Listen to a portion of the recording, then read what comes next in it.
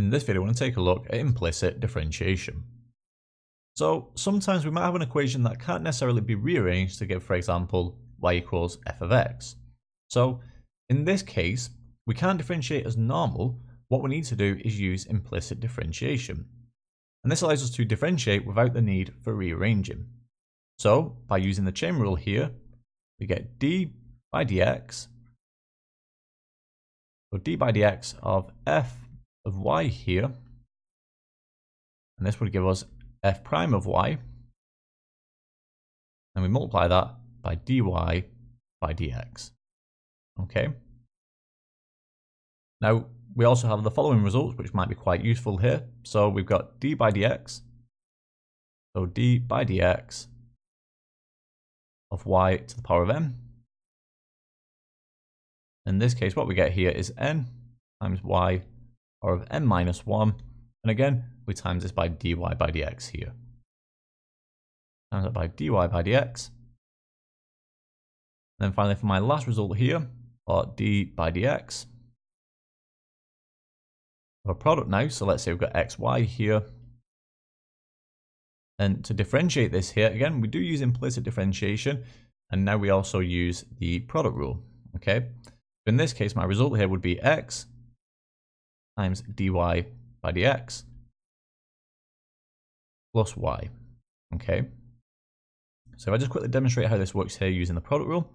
So what I do here is I split this up as a product. So u here would be x, and then v would be y. But in this case now we differentiate u and v here with respect to x. u prime, the derivative of u with respect to x, that would be 1. And then for v prime here, what I'm doing now is I'm using these results here, in this case simply this result. in this case, if I differentiate y with respect to x, that would give me 1. And we times that by dy by dx to simply get dy by dx. Okay. So now using the product rule here, we get x times dy by dx. So let's just write down again. So in fact, let me write the full result out. So d by dx of xy, like we said here, by using the product rule, we're going to get u times v prime, so x times dy by dx. So x dy by dx.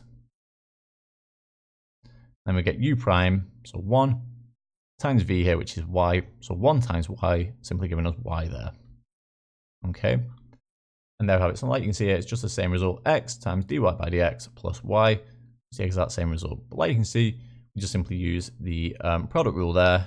And it's quite a straightforward process um, just to give us the derivative there when we have a product that involves x and y.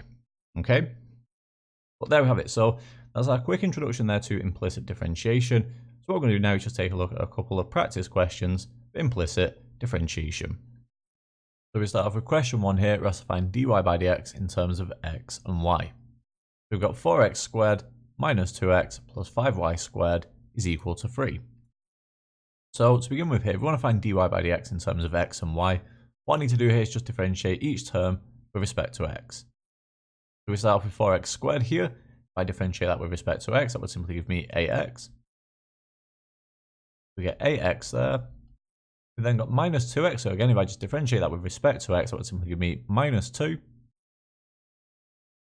Now for the 5y squared here, we now need to use implicit differentiation. And in this case here, we differentiate 5y squared um, implicitly here, and this would give me 10y, and then don't forget we multiply that by dy by dx. We get 10y, we multiply that by dy by dx. If I differentiate the 3 here because it's a constant, that would differentiate to give 0. That's all equal to 0. What we need to do now, if we're looking for dy by dx here, we just need to make dy by dx the subject here. So what I'm going to do now is hit this ax minus 2 across the other side. I'll just using inverse operations here. That would be um, 10y dy by dx on this side. Get 10y dy by dx. That would be equal to 2 minus ax. So 2 minus ax there. And then finally, we just want dy by dx here. As now need to divide by this coefficient here, essentially this 10y. So therefore,